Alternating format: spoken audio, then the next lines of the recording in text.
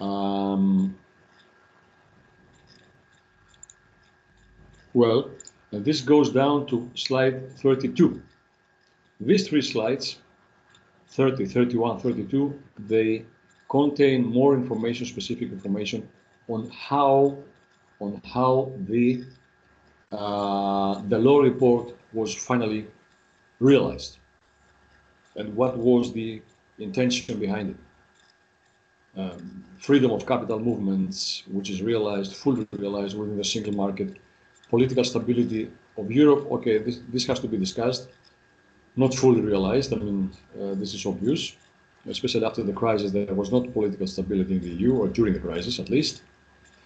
And we will be discussing about the crisis, I guess, today. So in these three slides, you have more information about this process of the realization of the Delors plan. Now, if you go down to uh, slide 33, uh, this slide now contains actually information you already know, right? Especially budgets, budget uh, discipline, already discussed very detailed discussed already in this class in the last days. Um, all, and also discussed that this that, that the uh, the um, stability and growth pact of the EU fully failed. Right? You remember our discussion. Uh, yes. Is there a comment? Yes, exactly. You remember all of that. Well, uh, now uh, this is now the discussion about the pact. A very, you know, a more detailed discussion a bit about. Although we already discussed about this, but anyway, you have now, as of slide 30, 34, as of slide 34, you have now a more detailed discussion about, uh, or some more information about the Stability and Growth Pact. Okay which again, this was, uh, you remember, this was launched, uh, this was not foreseen in this specific, this specific form by the Maastricht Treaty, but was launched actually in 1997 uh, by the Treaty of Amsterdam, right? Okay, you have some more information here about the Stability and Growth Pact, but failed just because uh, there was no uh, uh, effective monitoring regarding especially fiscal policies, and there was no punishment. So without punishment, no, no, um, sometimes respect. Unfortunately, well, uh, now uh, on slide 35, on slide 35, you have some more information about the um, uh, ECB members and the uh, system of central banks. A bit more information. Not that detailed, but anyway, you have some more information here. Actually, also already discussed. And now finally, on slide 36, you have an overview about how the euro is spread as a currency across Europe. Okay, this is a good overview. This slide provides a good overview. Blue, deep blue color. Uh, in deep blue color, you can see this, the, the member states that already uh, adopted the euro. Uh, the latest development during the crisis, during the crisis, the Baltic states adopted the euro during the crisis, so this is significant. Although the euro was in crisis, there have been they have there have been countries interested, fully interested, strongly interested to adopt the common currency. Um, and you can see, uh, so this is the blue is the euro area. Uh, currencies that uh, are pegged to the euro, so fixed exchange rates, okay, Denmark and Bulgaria, and floating currency, okay, now Britain left, floating currency, Sweden, Poland, Czech Republic, Romania, Hungary, Croatia. These actually the only countries, remaining countries, that didn't yet adopt the euro, not because some of them, of course, because they are not in the position yet, they do not fulfill the criteria. Other, other countries like Sweden, because they decided, it's a political decision, not to enter the euro yet. Uh, but the um, former president of the European Commission, Mr. Juncker, Jean-Claude Juncker, that just stepped down, uh, said that the plan is for all countries, that, that all countries of the EU will join the euro. This is the final, should be the final uh, step of unification in the monetary union. Well, uh, now slide 37, free to move, uh, the Schengen Treaty. Uh, I inserted this slide here because the Schengen movie uh, treaty, excuse me, the Schengen Treaty, of course, has to do at first place with the free movement of people within the Union, right? But of course, it also has an economic impact because at the same at the same time uh, makes easier also the movement of products, not only of persons. So if there is a problem with the uh, Schengen Treaty, as it is the case now, because there was a question by Mohammed, by the way, yesterday night, I just answered him today because I was busy with booking.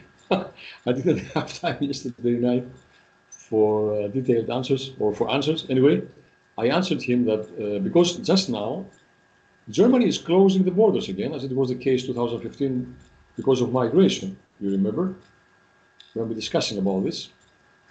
Uh, now closes the borders because of the virus uh, to all countries around Germany. Uh, border control again. Exactly. There's a comment. Comment. Comment. Yes, exactly. There was a comment by Mohammed. Uh, of course, and uh, by securing at the same time that this will not affect explicitly explaining that, will, that, this will not affect the movement of products, because this goes together. If there are border controls and the Schengen Treaty is abolished for a specific period of time, of course, you cannot abolish the Schengen Treaty once you have signed and ratified it. Okay, um, you can abolish it because of specific conditions within a short period of time. And this was the case also in 2015 because of migration, because of uncontrolled migration. Uh, and this is the case now. It started yesterday, just, just yesterday.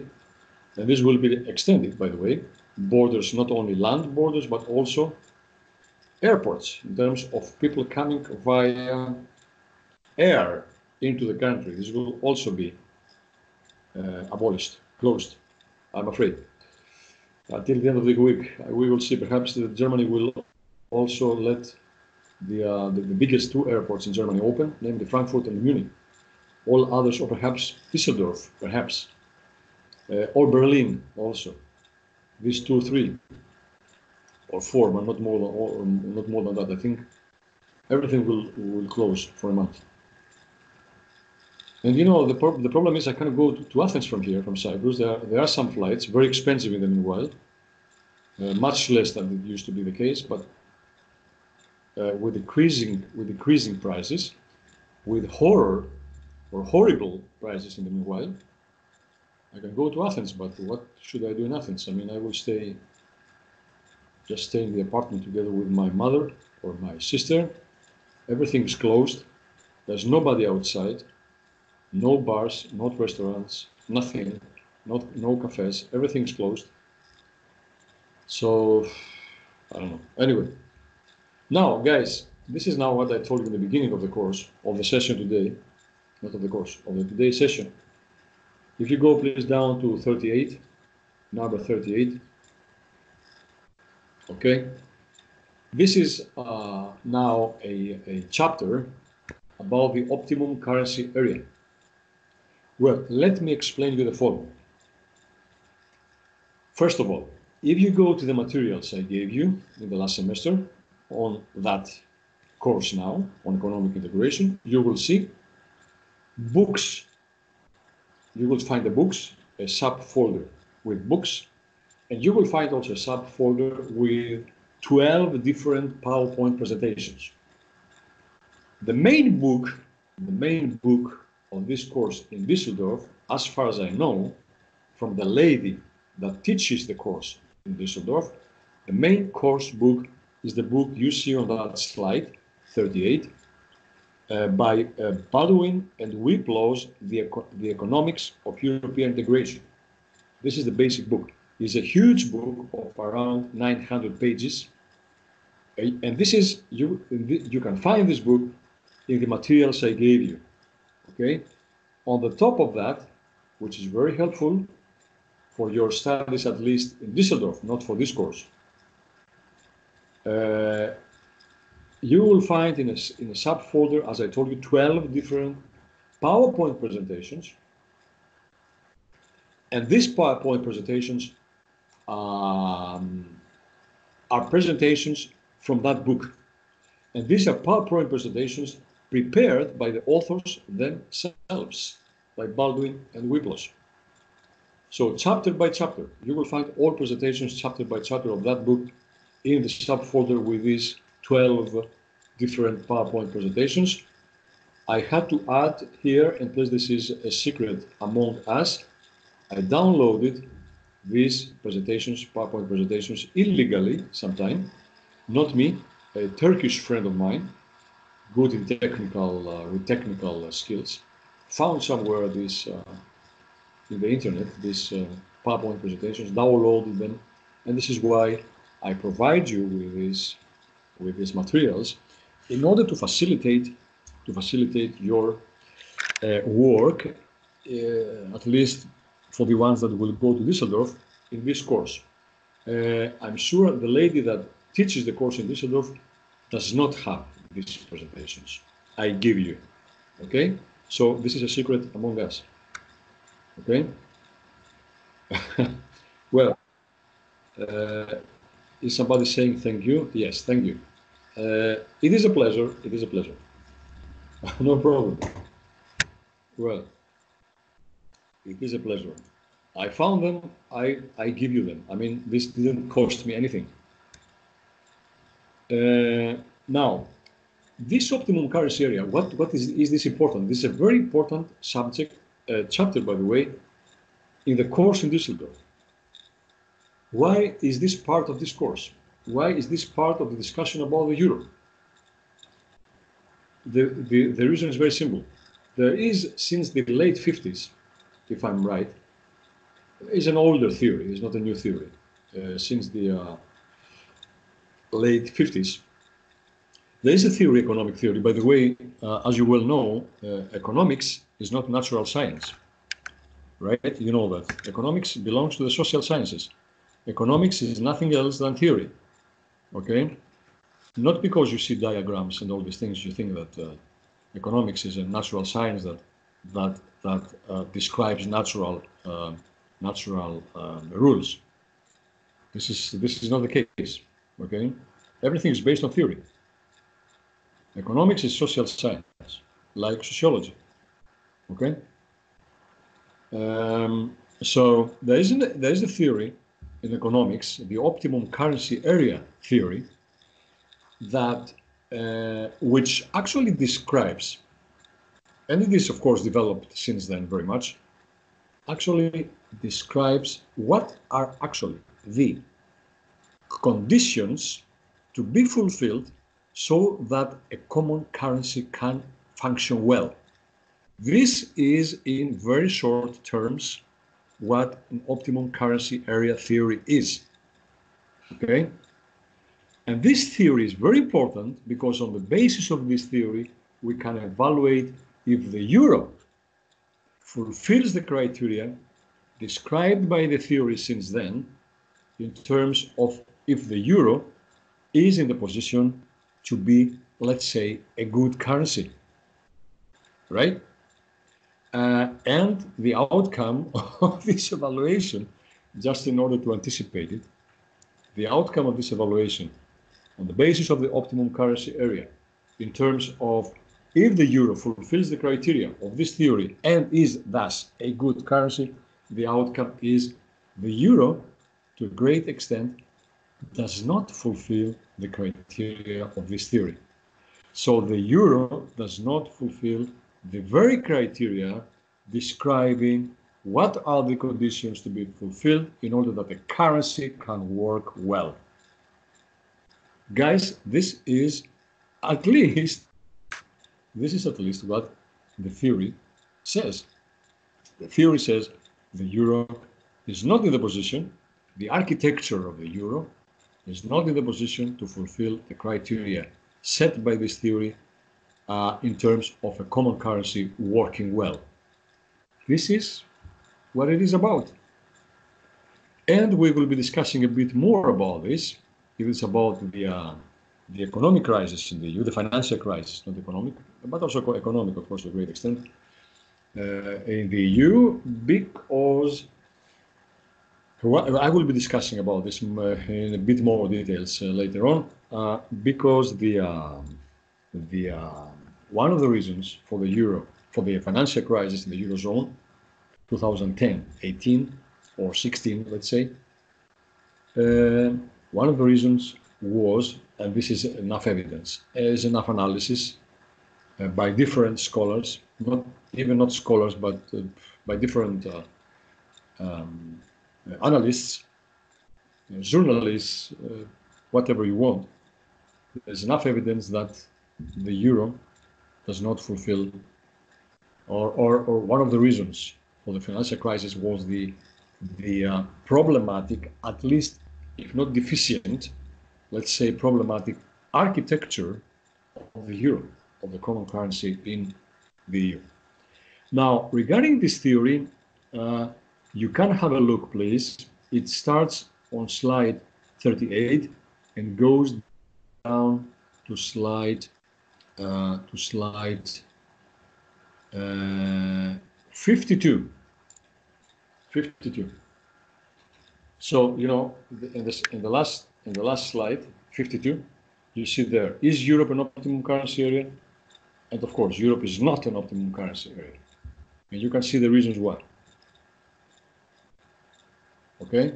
But this is not something to be discussed in this course. This is a preparation, uh, or I would like to make you aware about what will be taught within this course in Düsseldorf. Okay? But you have at least now, you have both this information on my slides here in this presentation, short information about the theory of, uh, of optimum currency area. And you have additionally also the slides, uh, as I told you, the slides of, of the authors of the main book, course book in Düsseldorf, okay? So, um,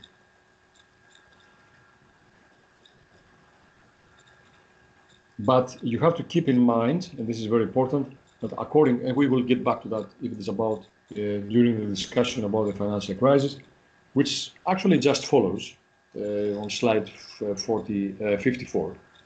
Um, you will keep in mind that according to this theory, the euro was never in the position, uh, uh, um, neither before was launched nor after it came into power, so to say, uh, was never in the position to fulfill this criteria.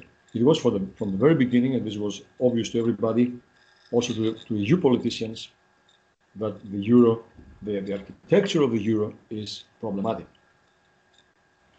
Well, um, now I inserted one more element in this presentation, namely solidarity in practice on slide 53. Okay, we shift now to slide 53 um, solidarity in practice. Okay, the EU cohesion policy. Uh, this slide, on, the, on that slide, you have some more information about the second biggest part of the budget, namely the structural funds. You remember yesterday, right? Agriculture, the first one, second one, structural funds. Money to be spent, in other words, money to be spent um, for different development uh, projects across the EU. You have now more information here, and this is actually solidarity in practice. within the EU. This is solidarity in practice. Definitely.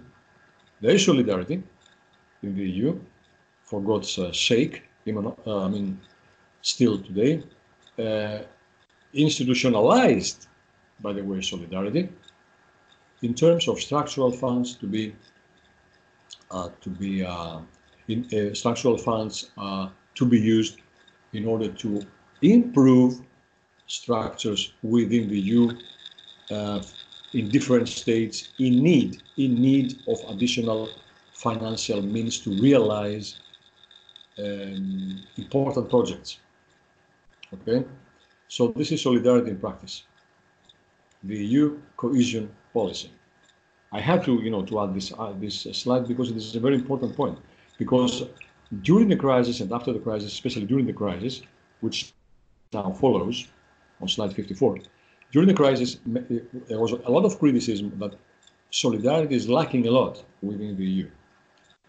It holds true. It holds true. During the crisis, um, we'll be discussing later on the uh, first uh, interest of the lenders, of the one who borrowed money to the countries under debt problems, was not, of course, to help them at first place.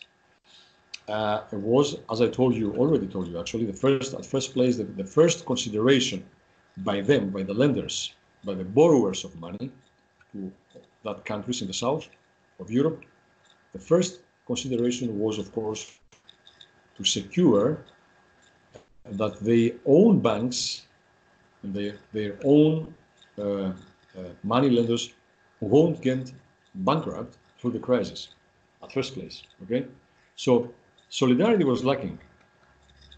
They didn't provide money because they wanted to save to save Greece and, and Portugal. They provided money first place at the time at least because they wanted to save their banks of uh, getting uh, bankrupt.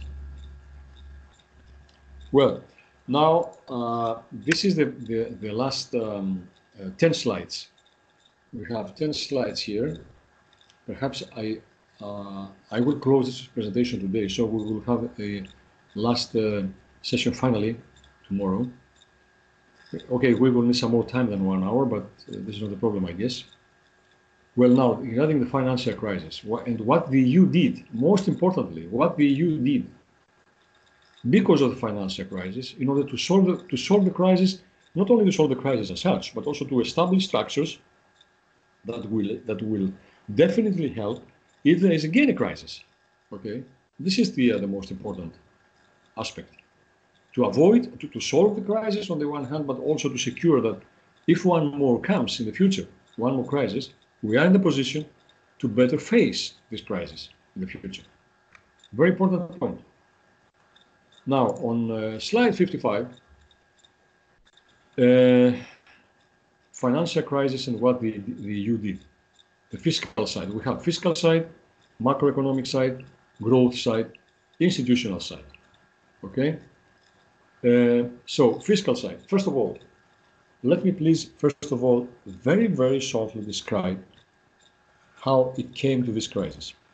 Already discussed actually during the last session, yesterday and two days ago, uh, on the basis of the, um, on the um, I mean, we have been discussing about the global financial crisis started in the US in 2008 and how this affected finally Europe in terms of uh, countries, member states of the EU in uh, high debt problems, Greece especially. We have, we have we discussed this, right? There's no need to discuss it again. But I would like to add the following regarding this uh, overall frame discussion about the financial crisis. As I told you before, just mm, five minutes ago, um, one of the factors that led to this crisis was definitely the uh, problematic architecture of the euro as such, as a common currency. Again, there's enough evidence according to the um, according to the theory on uh, optimum currency area that the euro is problematic, okay, as a common currency. No question about this, no, no discussion about this. Now, in my eyes, one of the best books I read, you know, I follow the situation, I follow developments, step by step, very closely, every day. There was time between 2010 and 15. I was re- I was following the developments day by day, believe me, day by day. Um, I read a lot of things, articles, uh, analysis um, in journals, books, etc. In my eyes, the best book I ever read, and this is included in your materials. You will find in your materials. The best book I ever read was by a Greek guy uh, in the United Kingdom. Uh, the name of him is uh, Jason Manolopoulos. That wrote a book. Uh, by the way, he's not a scholar. He's a broker in the city, in London. A broker, okay, not an not an economist actually uh, in real terms. A broker, a very clever broker, by the way, because in my eyes he really wrote the best book about the financial crisis, especially in terms of the Greek crisis, okay which was actually the, you know, it was the kernel actually of the crisis in the end, uh, by, by, by arguing the following, three, three things. He pointed out three things. Actually, this book starts with the, uh, with, with the comparison between Argentina and Greece. Between Argentina and Greece. Argentina got bankrupt in 2000. And he describes exactly what is common in terms of the political system, because this is the problem, really the problem, finally, structures of the political system, peculiarities of the political system in Greece, and made a comparison between Argentina, that, that got bankrupt 2000, uh, with Greece, and uh, actually was able to show in a very good way, in, in, on the basis of a very good analysis, that there are commonalities between the political system of uh, Argentina that led to this bankruptcy some years before the Greek one. Okay, a very good analysis. Uh, this is also a point of mine because I also published some things about this. I published an article, unfortunately German, showing that um, that, the, that the current crisis, because I published this article in 2014, I think, uh, amid the crisis, by the way. Uh, in other words, uh, I, I, I was able to show that the current crisis, the Greek crisis, the financial crisis, is not a crisis of, uh, of 2015, does not go back only just some years. It goes back to the 19th century. I started to explain the political system, the Greek political system, uh, right away after the Greek uh, uh, independent state was established in 1832. This is the point where I started, even a bit earlier. So you have to understand how the political system works, what are the uh, basic structures of this political system in order to understand the current crisis. And the, the main element of this political system, of course, is uh, because we have been speaking about corruption a lot, right? But with, which, which type of corruption? Of corruption? Why corruption? In which terms? And it is very easy to, I mean, it is easily said the, the, the, political system was based on the uh, so-called system of clientelism. Clientelism, okay? This is actually what I try to, to, to make clear, to analyze clientelism, how clientelism worked within the frame of the political system in Greece and why this finally led to the crisis 2010. By the way, this was not the only bankruptcy in Greece. The, uh, the first bankruptcy already happened in 1896. 1896, at the end of the 19th century. By the way, 1896 is the year in which my, uh, there's a comment, in Greece, I mean, speak about Greece. Uh, 1896 was the year in which my grandmother was born. Uh, died in 1997 uh, aged 101. Um, so 18, so this is not a, a, new phenomenon, and this is based not always on, on clientelism, on let's say political corruption always, but uh, this was actually until 2010 there have been three different bankruptcies in Greece uh, because of different reasons, of course, not only because of uh, you know clientelism, but in order to understand better what happens after the uh, the, um, the, the political, the democratic political system in Greece was restored, was restored in 1974. you have to understand better the political system in terms of clientelism from the 19th century to the 20th century, and then, of course, uh, in um, after early 2000. Well, um, so this is what what this this guy uh, Jason Manolopoulos did in his book, and he tried to explain the crisis. And this actually actually this is why, in my eyes, this is the most uh, convincing argument by him. Not everybody was from that I have read in 10 years. Not everybody was in the position to explain the crisis because this guy, Jason Manolopoulos, knew very well what is the political system in Greece. The other ana- analysis didn't have any idea about Greece and how the political system works. And this is why he was in the position to better explain. This is why he concentrated on three factors that led to the crisis. The first one, again, was the political system in the country as such. The Greek political system, already discussed right now, okay? The second one, the second one, the second factor that led to the crisis, according to Jason Manolopoulos, was again the uh, the deficient architecture of the euro as such, on the basis again of because he uses he uses in order to explain this. And you, by the way, you will find in his book, if it's about the optimum currency area, the theory of the optimum currency area, you will find in his book much more details. Very, very good, simple, simple explanations and lists about this criteria, this theory. Okay, get back to his book if it's about this. So the second factor that he explains that led to the uh, crisis was the, um, the, the, the, uh, the, problematic architecture of the euro. And finally, and this was something that was not that discussed, was my, uh, my, my impression at the time, and he discusses a lot about this, because this is actually his job. He's a broker, right? And he asks, very simply asks, who, who borrowed this small economy, Greek economy, uh, 500 billion dollar. Who borrowed that money to this country, to this small economy? Of course, the international financial markets, the investment capital. So he defines the investment capital as the third sector, the global investment capital as the third sector that uh, contributed to that crisis by asking this simple question Who was that? Who was that that borrowed that country so much money? Okay.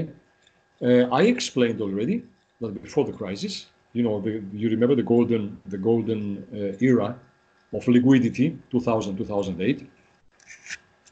And during this, this, this era of uh, high liquidity, and this is actually the period about which he also speaks in the book, during that period, uh, the financial markets, the investment capital, borrowed all that money to that country.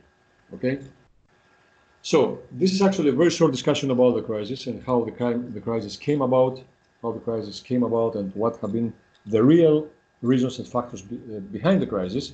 Again, three basic uh, factors, uh, reasons, the, uh, the political system in the country. Because now we concentrate, of course, only on Greece, but you know, because again, what is the difference with Greece during the financial crisis is that it has to do with the overall uh, uh, state debt, okay, high debt.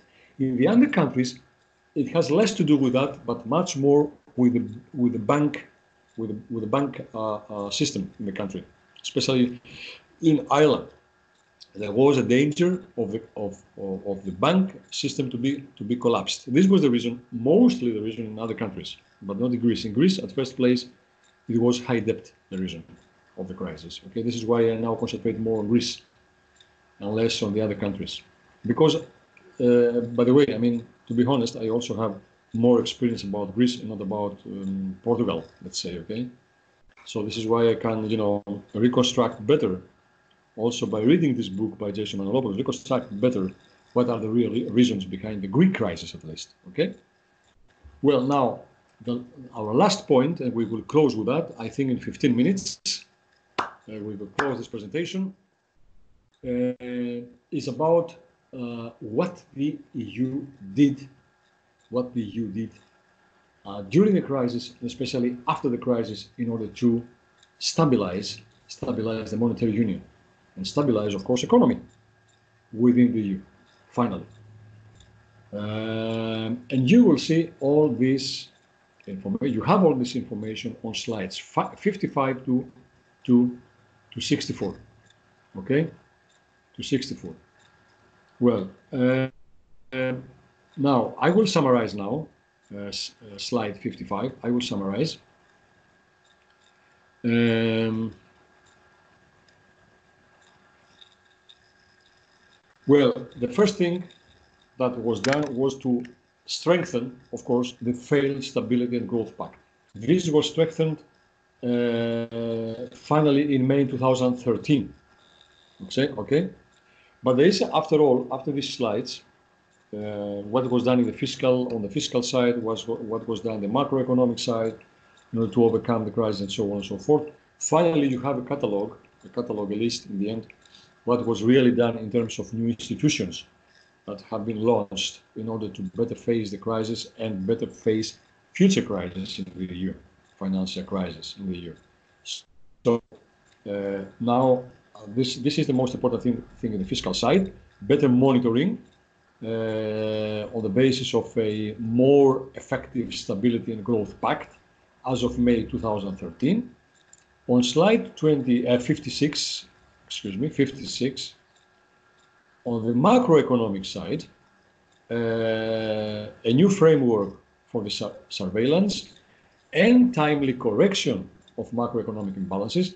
Now we have a more effective system in terms of uh, surveillance and correction of, uh, of wrong developments in terms of uh, uh, macroeconomic developments in the monetary union in order to, you know, to avoid bubbles and, you know, um,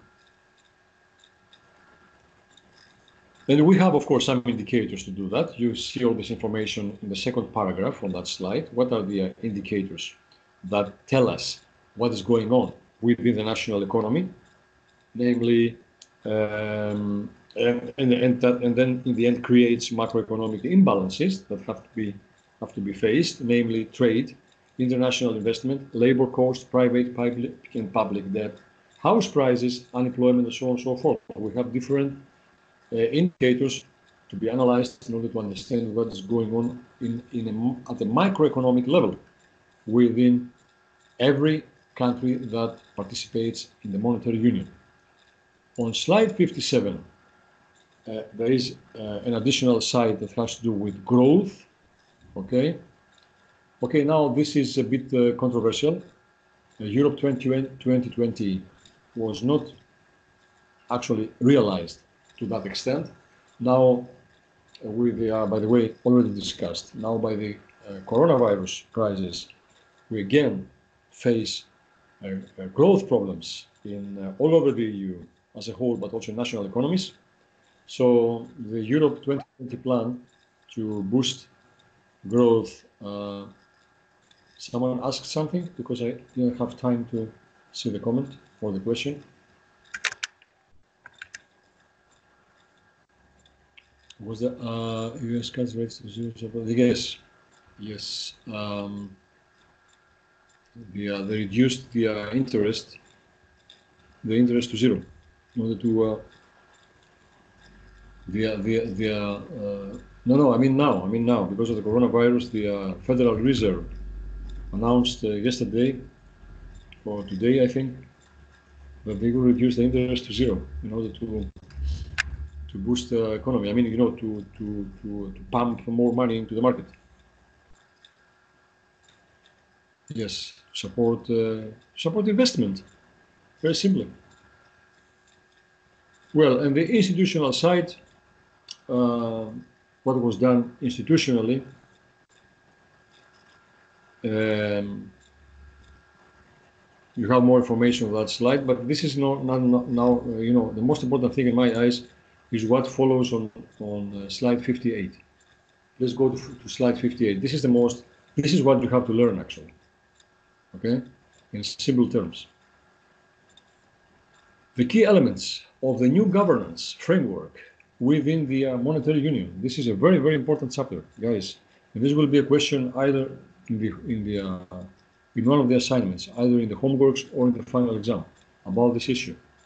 The key elements of the new governance framework in uh, in the monetary union. So, first of all, there's a new institution which is called the European semester. Uh, and you will understand what this uh, semester is if you go down to the key stages of the European semester. In January, the Commission issues its annual growth survey, which sets out EU priorities for the coming year to boost growth and job creation.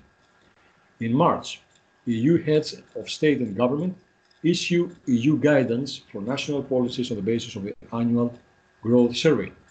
In April, member states submit their plans for sound public finances and reforms and measures to make progress towards smart, sustainable, and inclusive growth. In June, the Commission assesses these programs and provides country specific recommendations as appropriate. The Council discusses, the European Council endorses recommendations. Finally, end of June or in early July, the Council formally adopts the country-specific recommendations. But this is not all. You have to go down now to 59. The annual, the annual growth survey, you see there some more uh, information what actually this uh, survey is about. That is published again in January by the European Commission. What is very important is point three, stricter monitoring of public debt levels. Guys, as it is now the case since now 2015, all member states of the monetary union, they have to uh, submit their the household, their household for the next year to the commission, and only if the commission accepts now the household by all member states of the monetary union, this household is uh, can can come into power. Well, I mean, there's no, there couldn't be stricter monitoring than that, right? So these are the new rules, very very strict rules. Uh, now, uh, this is continued on slide 60 regarding macroeconomic surveillance. Okay, and finally, macroeconomic surveillance we have, we have already discussed. Um, and finally, stricter enforcement. This is very, very important. One of the reasons that the um, Stability Pact failed was not only um, uh, not existing monitoring, but also no existing enforcement, punishment. And this changed now a lot we, we, we, launched now financial sanctions in the case that states do not obey to the uh, guidelines of the Commission. Okay? Well, um, now on slides 61, on slide 61, there is uh, again, if you go please down, 61. Uh, there is a summary about the, uh, I mean, the, the title is that the, the crisis exposed several shortcomings in the EU system of economic governance. This is a summary of what already, actually, we have already discussed, okay? In terms of uh, too much focus on deficits, lack of surveillance, uh, and on, on avoiding macroeconomic imbalances, weak enforcement, slow decision-making capacity, emergency financing. So this is now a summary you have of what went wrong actually for years, of what went wrong for years. This is the summary, okay? You can use it for this course and for your course also in Düsseldorf regarding the financial crisis. Uh, and because of that, and because of that, and because of this, of these deficits in the uh, economic governance of the monetary union of the EU, we we uh, finally established these mechanisms that are described on slide 62, in order now, in order now, uh, we have been discussing a bit about the European Financial Stability Facility, you remember, on the uh, in the next in the last presentation. Now this was, as you remember, the first institution established in the European Union in order to face the crisis. In order actually, in real terms, to help countries suffering under high state debt, like Greece, Portugal, Spain, etc. So this was what was done in 2010. Remember, May 2010? This was the first institution established. I told you this was actually a company uh, based on, um, established on the basis of uh, British private law in order to, you know, to circumvent the treaties somehow and to find immediate, immediate uh, solutions to, to the crisis. Now, after that, one more mechanism was, or this mechanism was developed actually, to the European Financial Stabilization Mechanism that provided financial assistance to EU countries in difficulty. The Commission was allowed to borrow via the financial markets. Now, not this company that was, uh, let's say, company that was established in 2010, but now the Commission is allowed to borrow something actually unimaginable before the crisis. The Commission is allowed to borrow money via the financial markets on behalf of the EU on behalf of the EU under an implicit EU budget guarantee. All countries together, they guarantee for that money. Okay?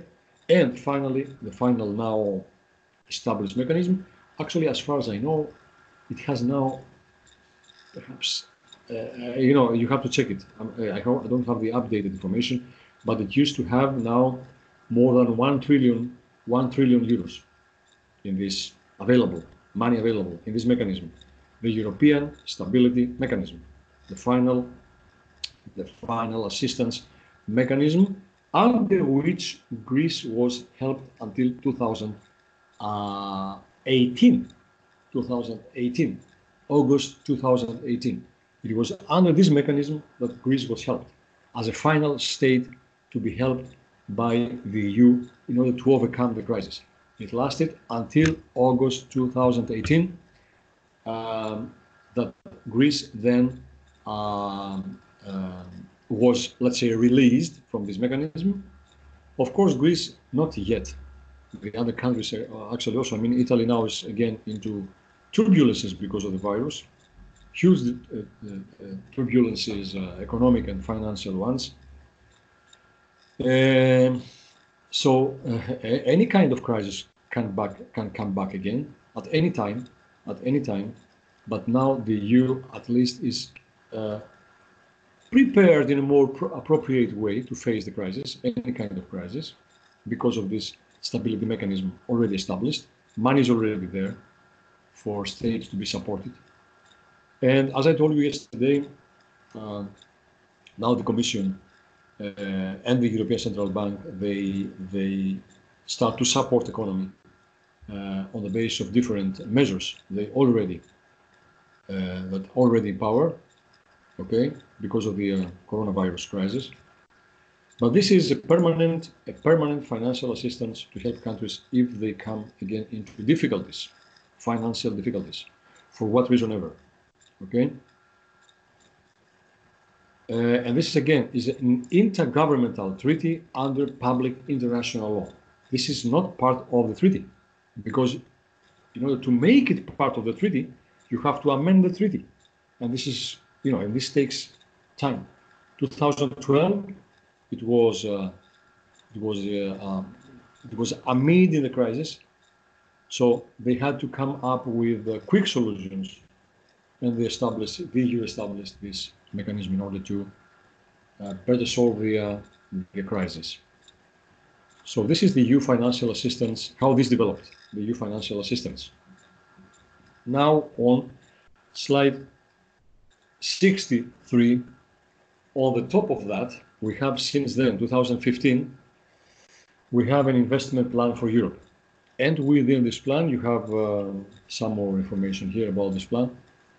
Um, I mean, uh, beside the structural funds, beside the structural funds, uh, for for every year until 2020. Now this year, uh, within the current budget of the EU. Beside this, the European, uh, there, it was a proposal by the European Commission, by the way, it was accepted by all states, to uh, additionally spend money in order to, um, to make strategic investments in different sectors of society and economy up to 2015. And this worked well, by the way.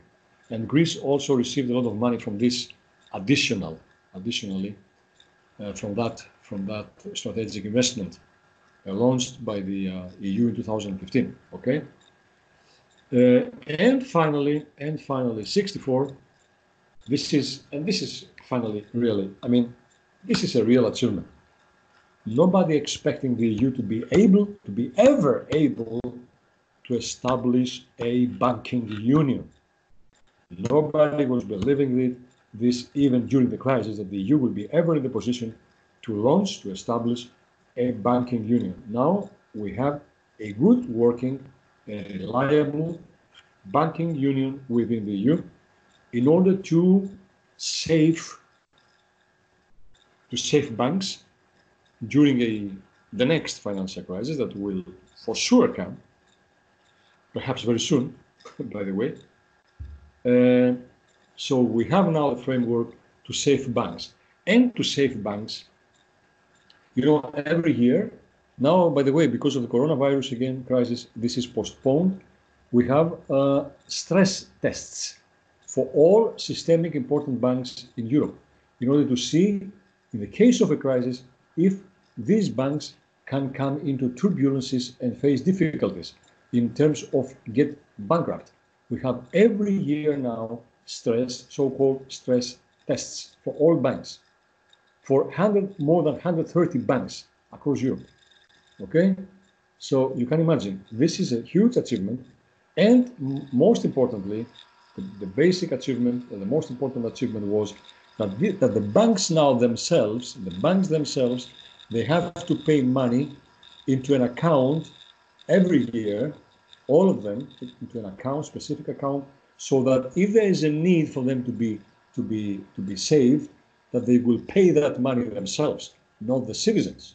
Because you remember during the crisis 2008, 9, 10, but also after that, the ones who paid the bill for banks to be saved had been the citizens. This was done by using taxpayers' money. You remember the discussion we, we had. So now this changed a lot. And this is, on that very last, uh, last slide, this is a real achievement, unbelievable achievement uh, within the uh, within the EU. Okay. By the way, not only within the monetary union, within the EU. This involves all countries of the EU. Well, this was our last slide. And this is why I go now back to the, uh, well, we, uh, union under, yes, exactly. Uh, we actually succeeded to go for one and a half hours to go as it was planned actually today because guys really now i i have to close the session because i have to decide really now what i will do in the coming three days in order to go back to germany um, uh, because now you know i can i can now um, make online check-in for the flight on thursday and now i can really see if the flight will take place or not uh, although, you know, yes, of course there must be a way, but you know, uh, I have seen the prices and these are horrible prices. I mean, I have perhaps to, to pay